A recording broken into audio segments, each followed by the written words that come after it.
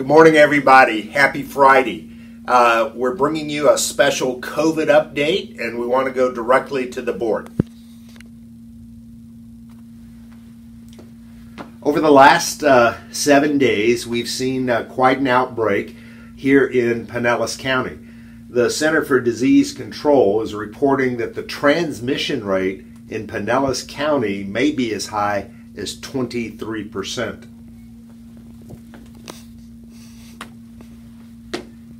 You go back and clean up all this? Immune from what is happening within the broader county and, of course, the state as well.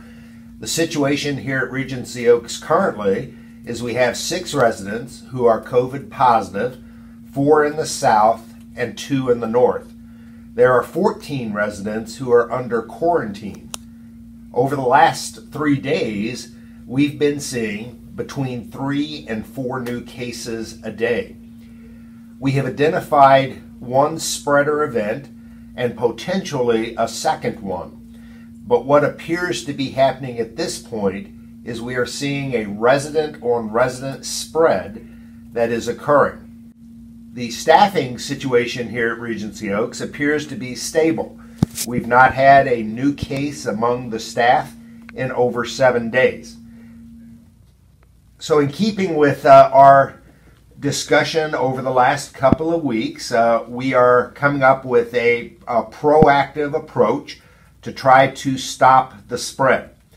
Uh, we need to take a five to 10 day pause and do a reset. We want to see if we can stop the spread in its track. Here's how we do that we stop mobility. Mobility is moving around on campus, both residents and uh, associates we isolate, we maintain uh, social distancing by tight isolation and essentially go into a, a localized quarantine. We limit the exposure risk by reducing the opportunity to have spreader events. So, what will change?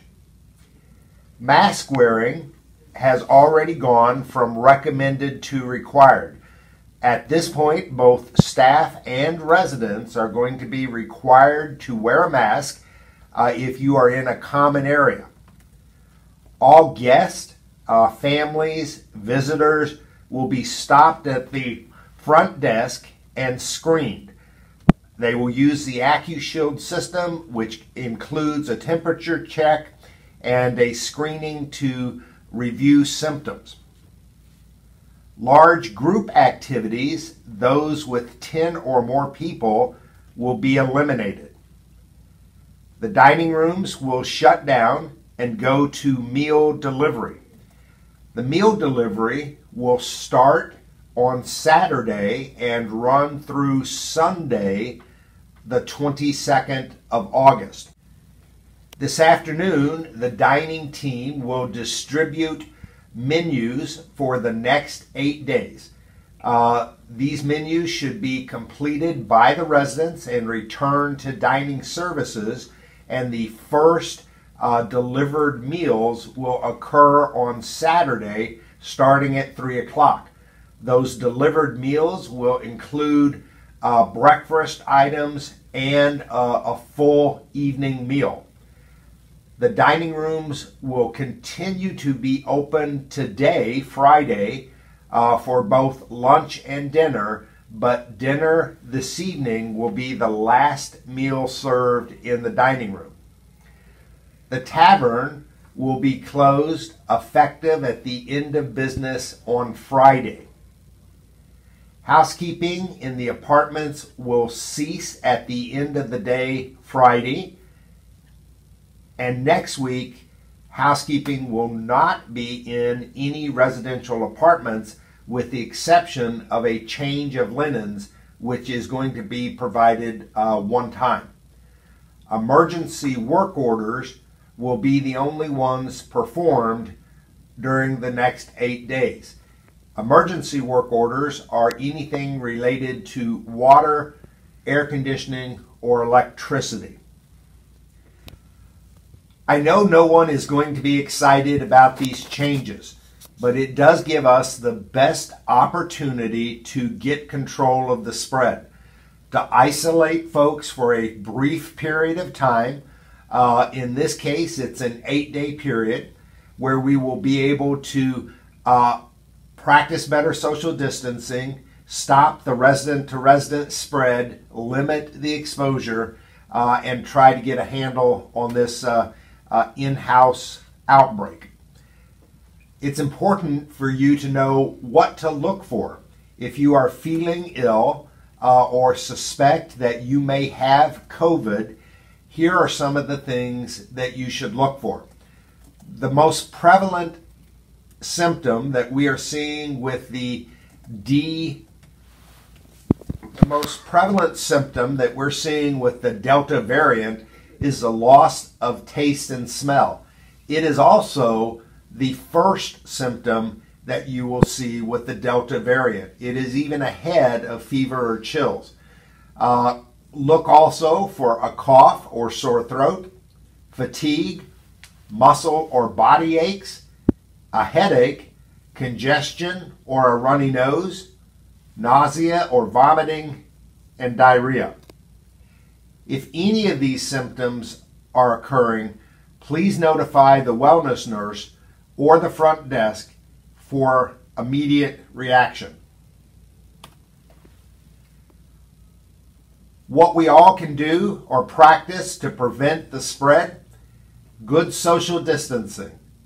Wash your hands frequently for 20 seconds with soap and water, and the water should be warm. Wear your mask. Avoid congested areas. If you are ill, stay home. If you don't feel good, tell someone. Seek early medical intervention. That can be the difference between moderate symptoms and more severe. I know this is not the news that all of us were uh, hoping to hear, but it is something that we can get through together. This is not a permanent change uh, where no one is anticipating that this is going to develop into eight days to two weeks to a month to multiple months.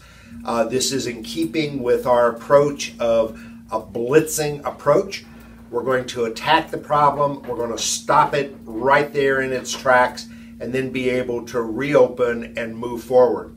So I really appreciate your support uh, and your diligence in keeping others safe. Practice that good social distancing and we'll get through this together. The one other thing that I did want to briefly mention uh, this weekend, we are going to see some tropical uh, storm force winds and water. We've evaluated this pretty thoroughly and believe that this is primarily a water event. Uh, the winds are minimal, but we can anticipate uh, six to eight inches of rainfall uh, on Saturday afternoon. The staff is prepared for it. We're ready and standing by. Uh, there's nothing we are asking of residents at this point uh, and we think this is, again, just going to be a, a, heavy rainfall event for Regency Oaks. Thanks for tuning in, and I'll uh, see you soon. Bye bye.